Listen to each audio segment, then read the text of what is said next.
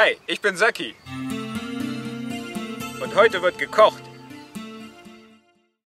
Hi, ich bin Saki. Willkommen zu einer neuen Folge von Sakis Küche. Ja, wir haben Anfang Juni und das ist genau die Zeit, wo der schwarze Holunder anfängt zu blühen. Und aus diesen toll duftenden Blüten, mh, mm, geil, da kann man richtig viele tolle Sachen machen. Ich habe ja schon mal ein Video gemacht, wo ich gezeigt habe, wie ich die Holunderblüten in einem Teig ausgebacken habe, mit Zimt und Zucker bestreut und wie ich auch eine Holundermilch gemacht habe. Und diesmal habe ich wieder ein schönes, einfaches Rezept für euch, aber mit einer Leckergarantie.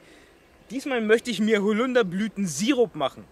Eine ganz leckere Sache, die man auch zu ganz, ganz vielen Sachen dazugeben kann, die eine prima Geschmacksgrundlage für viele Getränke zum Beispiel ist einfach toll. Ich freue mich schon wieder richtig drauf. Es ist schon eine Weile her, dass ich Holunderblütensirup gemacht habe. Ähm, wenn ihr den auch machen wollt, dann solltet ihr Blüten nehmen, die relativ frisch angefangen haben zu blühen. Wir wollen das volle Aroma der Blüte in den Sirup haben und dementsprechend ja immer die, die Blüten nehmen, die gerade frisch erschienen sind, die noch richtig intensiv duften. Ich möchte mir ungefähr so eine große Flasche von dem Holunderblütensirup machen und noch so einen kleinen Rest zum Direktverköstigen. Und dafür sammle ich mir jetzt ungefähr 10 von den ganz großen Dolden. Solche hier.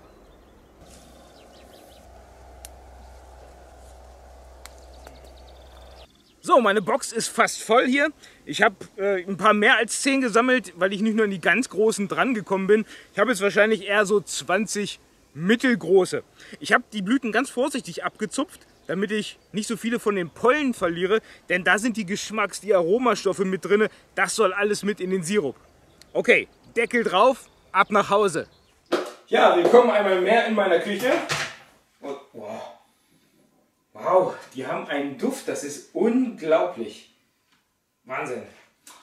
Okay, die nächsten Schritte sind jetzt folgende.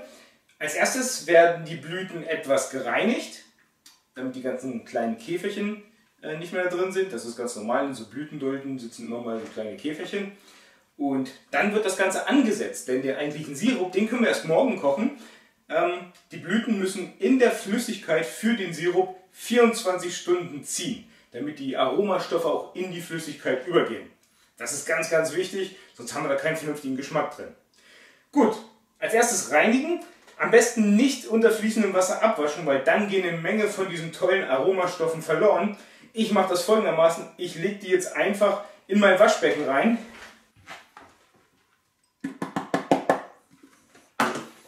Und dann schüttle ich die nur so ganz, ganz leicht aus und lege sie auch ein bisschen auseinander.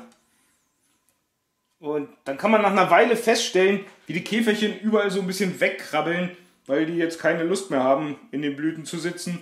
Und dann werde ich sie noch so ein ganz klein bisschen ausschütteln anschließend, ein bisschen kontrollieren, ob noch irgendwas drinne sitzt. Und das reicht mir dann aus. So, hier sind jetzt meine Blüten. Darüber gebe ich jetzt einen Liter Wasser, kaltes Wasser.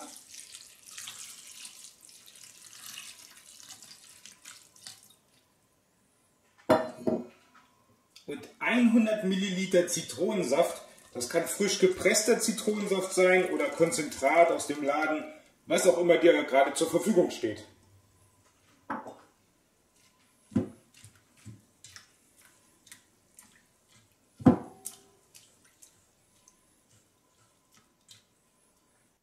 So, ich gebe jetzt noch einen Deckel drauf, damit da nichts reinfällt. Und dann stelle ich das jetzt in den Kühlschrank.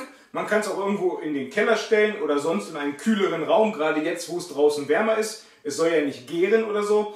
Und dann lassen wir es 24 Stunden lang ziehen und morgen machen wir dann Sirup draus. Wir sehen uns morgen.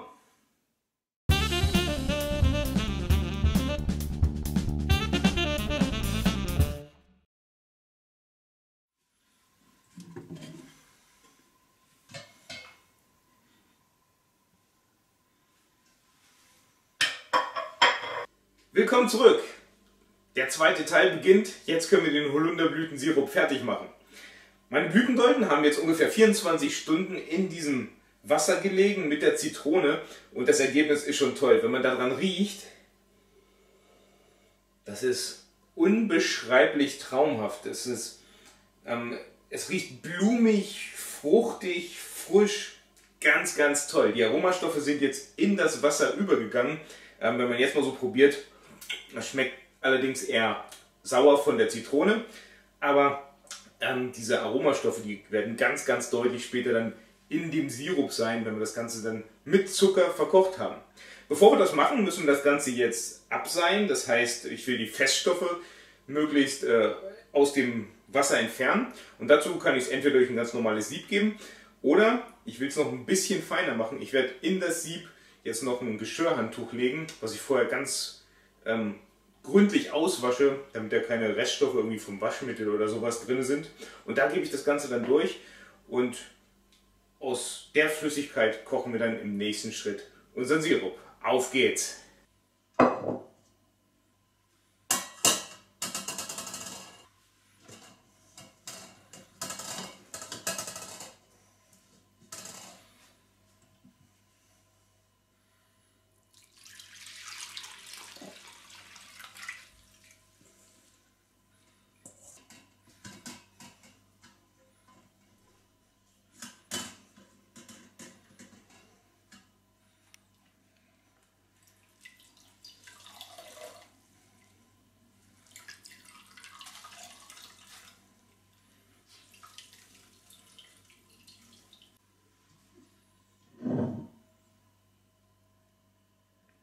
Ganz einfaches Siruprezept ist es, dass man Wasser und Zucker zu gleichen Teilen vermischt, also 1 zu 1. Wir haben gestern die Blütendollen mit einem Liter Wasser übergossen und das bedeutet, dass ich das Ganze jetzt mit einem Kilo Zucker aufkochen werde.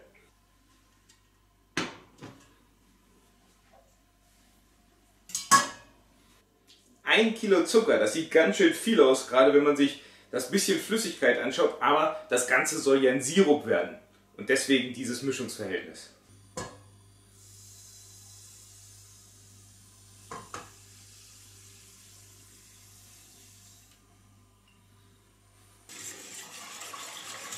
Das Ganze gut durchrühren, damit sich der Zucker löst.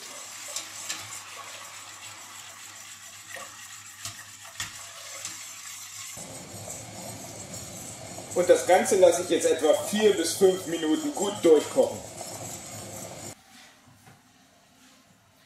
Und nach der Kochzeit fülle ich das Ganze noch heiß direkt in eine Flasche ab.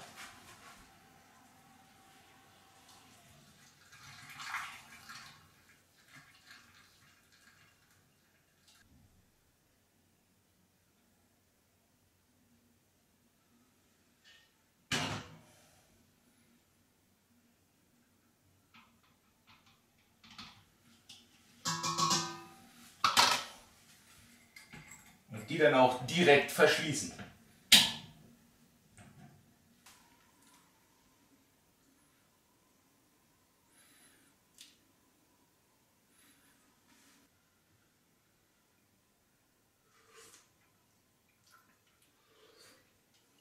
Mmh. Traumhaft, das ist unbeschreiblich, das schmeckt so lecker. Wer das nicht ausprobiert, ist selber schuld. Ganz, ganz toll. Wie gesagt, ich habe das Ganze jetzt heiß in eine Flasche abgefüllt. Ähm, das lasse ich jetzt ganz in Ruhe bei normaler Zimmertemperatur runterkühlen. Und dann lagere ich es irgendwo kühl, zum Beispiel in einem Keller oder so. Und in diesem Zustand ist das problemlos ein Jahr haltbar. Ich habe noch ein bisschen Rest in meinem Topf. Das nehme ich direkt zum Verwenden. Ähm, das fülle ich gar nicht jetzt besonders äh, dicht verschlossen ab. Das kommt einfach in den Kühlschrank. Das wird wahrscheinlich heute noch weg sein, so wie ich uns kenne. Wenn du eine längere Haltbarkeit haben möchtest, dann solltest du den Zitronensaft durch Zitronensäure ersetzen. Das ist ein Pulver, das du zum Beispiel in der Apotheke kaufen kannst, aber es gibt es auch ein ganz klein bisschen teurer dann meistens, aber äh, in Supermärkten in Pulverform. Für dieses Rezept 1 Liter Wasser, 1 Kilo Zucker, würde ich sagen etwa 50 Gramm von dieser Zitronensäure. Ja, dieser Holunderblütensirup ist für alle möglichen Sachen zu verwenden. Richtig, richtig lecker. Man muss das ein bisschen ausprobieren. Für ganz viele Getränke. Jetzt gerade im Sommer, wo es sehr, sehr heiß ist, ähm, schmeckt es perfekt. So ein Schuss einfach in kaltes Mineralwasser gegeben. Super Durstlöscher, ganz, ganz lecker. Ähm, für die Erwachsenen, sage ich mal, ähm, auch eine ganz tolle Geschichte. So einen kleinen Schuss in Sekt rein oder auch richtig gut einen einfachen Weißwein, da einen ordentlichen Schuss von rein und dann eisgekühlt trinken. Am besten mit ein paar Eiswürfeln oder sowas. Super lecker, wenn man abends vielleicht im Garten sitzt. Ganz, ganz tolle Geschichte. Ansonsten natürlich auch zum Kochen zu verwenden. Ähm, wenn man zum Beispiel irgendwelche Bratensoßen macht, vielleicht sogar Wildgerichte, da so ein Schuss am Schluss äh, in die Soße rein für diese pikante Note. Richtig, richtig lecker. Oder verwendet es zum Kuchenbacken. Vielleicht so ein bisschen äh, über eine Süßspeise gegeben bei Eis. Also ganz, ganz viele Sachen einfach ein bisschen der Fantasie freien Lauf lassen. Ist eine sehr, sehr leckere Geschichte. Ich hoffe, es hat euch gefallen. Ich finde diesen Holunderblütensirup traumhaft. Er ist wirklich lecker. Ich kann nur empfehlen, probiert es aus. Ihr werdet begeistert sein. Allein das Kochen macht Spaß, weil die ganze Küche nach Holunderblüten duftet. Ganz, ganz toll. Ich wünsche euch was. Bis zum nächsten Mal.